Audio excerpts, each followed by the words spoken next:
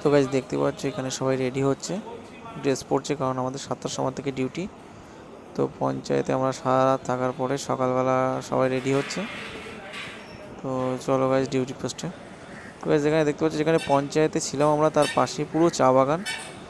Heavy সুন্দর view খুব সুন্দর লাগছে দেখতে। পাশেই রাস্তা। তো গাইজ যাওয়া যাক। গাইজ দেখো গাইজ আমরা যখন, এখন আমার থানাতে আছে এখনও ডিউটি শুরু হয়নি। ভিআইপি ডিউটি আছে। তো দেখো, সমস্ত পুলিশ, প্রচুর পুলিশ ফোর্স এখানে। সবাই যাব ডিউটিতে